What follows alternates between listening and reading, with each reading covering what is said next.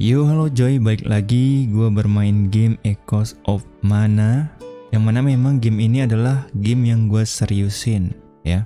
Jadi di video kali ini gue bakal ngebahas apa ya panduan lah ya panduan untuk para pemula. Bagi kalian yang baru banget main dan gak tahu sama sekali harus gimana setelah kalian nonton video ini gue harap kalian bisa ngerti sedikit-sedikit ya.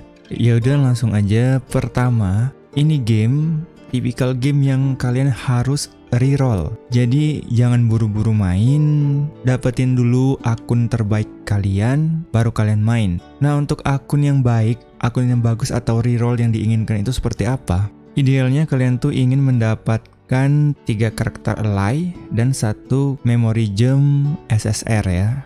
Tadi yang tiga tadi karakter allies-nya juga SSR. Jadi apa itu ally dan memory gem? Dan di game ini tuh kalau karakter yang bisa bergerak bisa dipakai untuk perang itu disebutnya ally ya.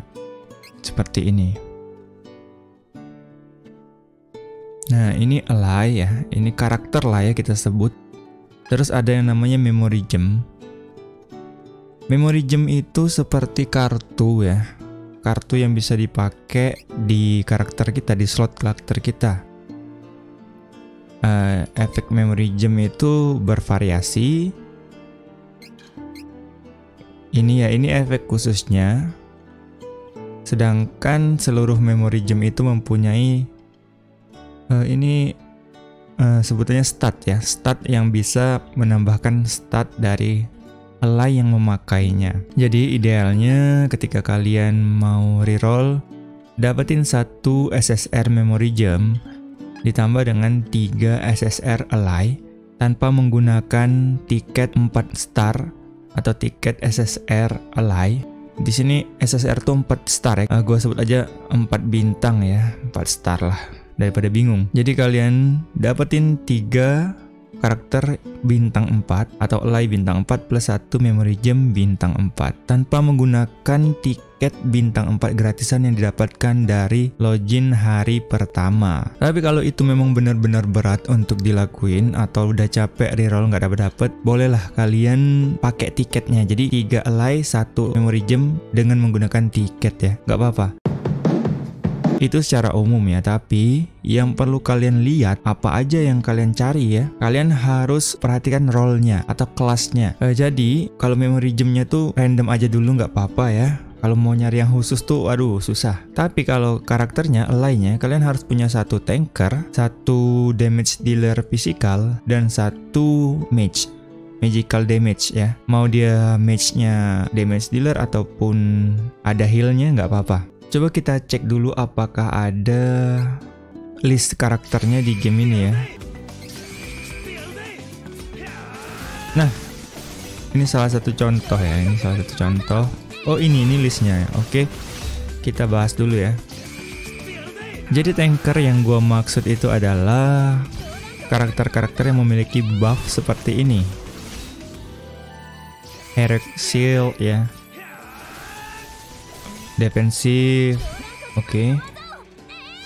ini bisa kalian anggap lah tanker ya walaupun bukan beneran tanker lah nah kalau damage dealer physical damage ya pertama kalian harus lihat dulu ini. P damage ya. Berarti physical damage. Dan skillnya pun tidak ada yang nge-up defense. Adanya nge-up damage ya. Itu termasuk karakter damage dealer fisikal. Kemudian kalau yang mage itu lihat ininya skillnya. Magic damage ya. Nah kalau si yang pakai bumerang itu pasti physical damage ya, tapi dia jarak jauh. Si Popoy ini dia magic damage dan special tekniknya physical damage. Tetap dihitungnya match lah ya, karena dia paling sering pakai ini. Dan ini juga sakit banget ini tipe magical damage yang damage dealer. Kalau Angela, ini lucu banget. Dia pakai tongkat tapi serangan normal Angela ini jarak dekat ya. Tapi Angela ini benar-benar magic damage damage dealer. Kalau Silo ini tipikal damage dealer physical damage sakit juga ya. Oke, jadi abis karakternya baru itu aja yang uh, bintang 4 dan semua karakter menurut gue bagus Secara pribadi semua karakter menurut gue bagus. Di sini cuman ada itu aja. Coba kita cek ada berapa sih SSR. Yang bintang 4 ada berapa? Coba kita lihat. 3 4 5 6 Wah benar-benar cuma 6 Jadi kalau yang punya heal itu cuman si Sumo ya Sekarang elemennya, elemennya jangan sama Kalau sama itu progres kalian bakal lelet banget Nanti gue kasih tahu alasannya kenapa tapi carilah yang elemennya berbeda. Gue kasih contoh misal damage dealernya Silo, oke. Okay. Kemudian uh, cari magicalnya siapa kita lihat di sini magicalnya Angela water oke okay, dark water terus tankernya antara Duran dan Sumo. Gue sih lebih ke Sumo karena light ya. Jadi elemen dark dan light itu mereka saling counter tapi tidak di counter elemen lain. Jadi agak aman ya mereka tuh. Kalau masuk ke event-event itu agak aman. Karena damage-nya tidak mungkin kena resist. Resist tuh berkurang. Jadi ingetin aja ya jangan sama elemen jangan sama kelasnya. Ini yang sama kebetulan tidak ada kebetulan tidak ada ya karena masih sedikit. Tapi nggak tahu kalau kalian tonton video ini nanti setelah ada tambahan karakter lagi ya. Jadi untuk sekarang memang kalian harus perhatiin aja kelasnya gue kemarin memulai dengan Duran Riz Sumo dan gue kesulitan. Akhirnya gue pakai Popoy gue lebih enak sedikit ya. Musuhnya lebih cepat mati juga dan ada musuh yang menyerang jarak dekat dengan bisa ngestun, bisa ngeslip itu kalau kita punya tiga karakter melee atau jarak dekat itu susah banget ya ke stun stun mulu ke tidur tidur mulu ya Oke, jadi yang kedua kita bahas kenapa elemennya tidak boleh sama. Kita lihat dulu party gua. Memang kalau elemen sama sebagai yang sampingnya ya, itu ada efek tambahan. Tapi yang harus kalian fokusin, yang harus kalian build dulu di awal itu hanya tiga karakter utama yang ditaruh di sebelah kiri ini ya. Ini ini mereka tuh bisa gantian. Memang bisa switch di dalam game. Waktu sedang ngelarin stage itu bisa nge-switch. Ataupun kalau mati yang sebelah kiri, datanglah yang sebelah kanan sebagai pengganti ya. Akan tetapi kalian nggak usah fokus ke enam-enamnya dulu. Karena itu menghabiskan resource banget. Kalian cukup fokus tiga karakter utama kalian aja, tiga life utama kalian. Di sini gue memutuskan untuk pakai Sumo, Popoy, dan Ries ya. Nah, jadi balik kenapa kita nggak boleh pakai yang sama elemen dikarenakan ini karakter itu ada yang namanya mana board. Ini adalah mana board.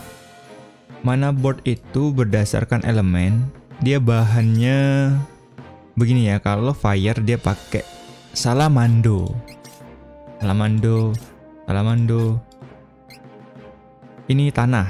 Tanah dia pakai genom ya dan ini aduh salah nah ini hampir salah gue ya ini kan yang dari event si Prim Prim itu pakai silpit juga karena dia angin sama kayak si Ries gue ini nah seandainya gue punya dua karakter utama yang pakai angin yang mereka harus berbagi ya sedangkan mencari ini mudah tetapi tidak cepat dan butuh energi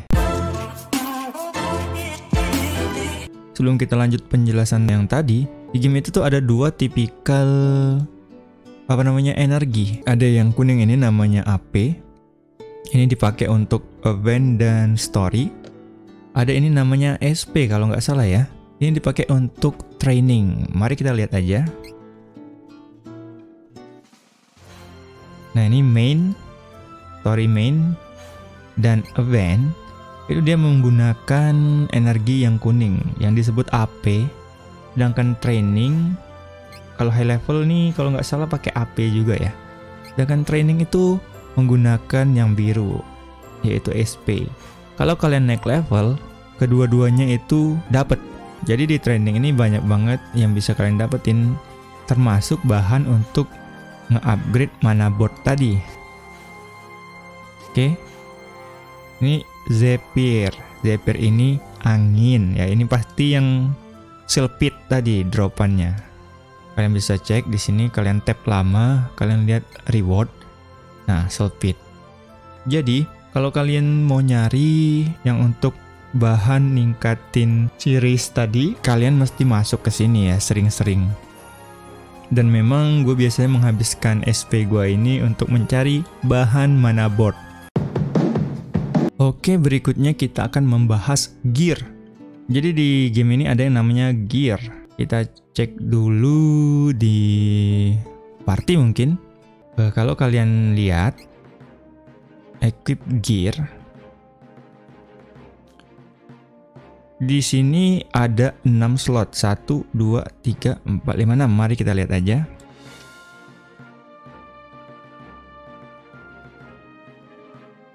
Nah, jadi selain ada 6 slot, gear ini memiliki set ya. Dan udah gua cek di sekarang ini baru ada 4 set. Kalau nggak salah. Uh, mana tadi? Nah ini set menos namanya. Jadi aktifnya set ini kalau udah 3 per 3 ya. Kan ini ada batasan ya. Ini bisa dibilang beda lah. Beda tempat. 3 kiri 3 kanan lah ya. Ini nggak nyatu. Nggak bisa nih nyebrang ke sini ada set tuh nggak bisa. Yang pertama set menos, yang kedua itu set holy, yang ketiga itu set cotton, yang keempat dan terakhir itu set Valsena. Masing-masing set memiliki efek yang berbeda. Valsena ini STR, yang mana STR itu digunakan untuk karakter yang physical damage, sedangkan hmm, yang lain itu tidak ada ya, yang INT ya. Tapi con, con ini untuk tanker. Jadi menos untuk untuk tanker. STR tadi Valsena ini untuk damage dealer physical, sedangkan yang HP dan yang Holy eh Ok Ok Oh ini Ok juga ya. Ada jadi ada berapa ya? Cotton, Ok, Holy, Valsena minus ada 5 ya. Salah bukan 4 5. Jadi yang terakhir itu Ok. Ok itu nambahin MP. Nah, selain yang Con dan STR, HP MP itu bisa dipakai oleh siapa aja. Tapi memang lebih baik kalian pakai Holy ya kalau kalian punya. Karena Holy ini persenan, sedangkan Ok ini dia pakai uh, angka bukan persenan, jadi nggak scaling gitu ya. Nah selain gear tadi punya set, main statnya dan bonus statnya itu random. Nah ini beda nih, MP yang satu STR plus 4% ini bagus banget untuk physical damage. Yang satu nambah MP. MP ini bagus juga untuk semua ally karena bisa pakai uh, skill sering-sering ya kalau MP-nya tinggi. Yang ini NT, yang ini HP. Nah, kalian lihat aja. Kalau HP dipakai untuk yang tanker, kalau NT ini dipakai untuk mage dan kebetulan gue belum ngurusin itu karena gue pakai-pakai aja yang bintang tinggi ya. Ya karena baru main juga, nanti gue rapiin. Dan jangan khawatir untuk mengupgrade gear kalian. Inilah ya, Holy Ring yang bintang satu mau gue upgrade. Awal-awal main kan kalian pasti dapet yang bintang kecil dulu ya. Nah ini kita lihat 6 kali yang bahan ini ditambah bahannya medium, small dan medium. Gue taruh, gue upgrade. Memang dia nggak nambah apa-apa karena nggak naik level.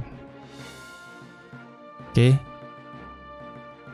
Nah kalian jangan takut untuk nge-upgrade itu karena itu bakal nambah banyak banget power kalian. Dan nanti kalau kalian udah dapet yang lebih bagus, kalian bisa pergi ke sini. Pergi ke blacksmith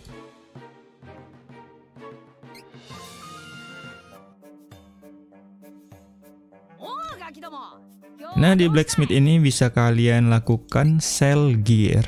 Dan kita akan jual yang barusan kita upgrade tadi. Ini ya.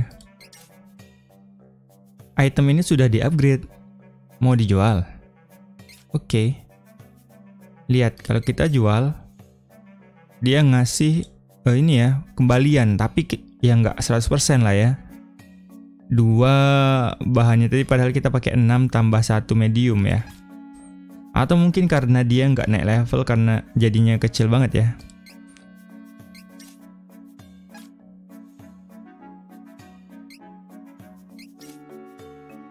Oh iya, karena dia nggak naik level, dia ngasih yang level 1. Jadi jangan dijual dulu sebelum dia naik level. Karena kalau level 2 udah beda dapatannya. Sekarang gue mau jual dulu yang level 1 biar gue bisa naikin dia ke level 2.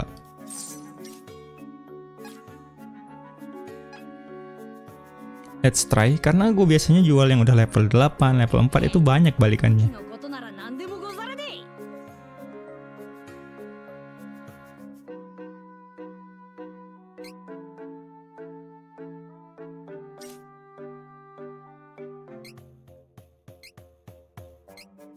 Oke, jadi total 10 small dan satu medium.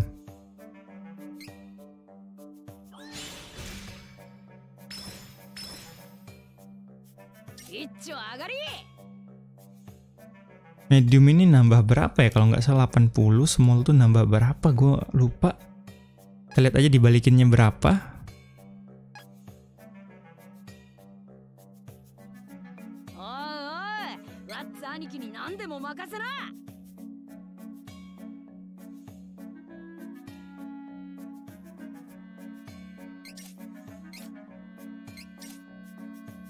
Nah, jadinya satu yang large dan empat yang small ya. Kalau tadi kita lihat itu satu yang medium. Ya, lumayan ya. Baliklah istilahnya ya, nggak rugi. Kita jual dulu.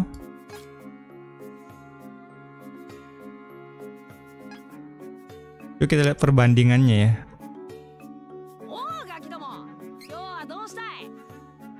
Kan kalau polosan dapat dua. Kita lihat perbandingannya. Nah, lihat ini berubah ya. Jadi satunya itu nambah 10. Sedangkan yang large nambah 100. Berarti kita dapat kembalian 14. Kita tadi ngasih 10 ditambah satu yang medium. Yang medium ini berapa ya? Gue lupa. Jadi kita nggak bisa cek. Oke jadi tidaklah merugi ya. Kalau kalian up dulu sementara kalian belum ada yang bagus. Waduh pas gue lihat timer gue ternyata udah panjang ya gue ngejelasin padahal baru berapa tuh baru tiga poin ya memory board eh, reroll dan gear ya Ya udah, gue cukupin aja dulu video yang pertama ini. Sebatas ini aja, gue bakal buat langsung part 2-nya ya. Oke Joy, makasih yang udah nonton. Sampai ketemu di part 2. Bye.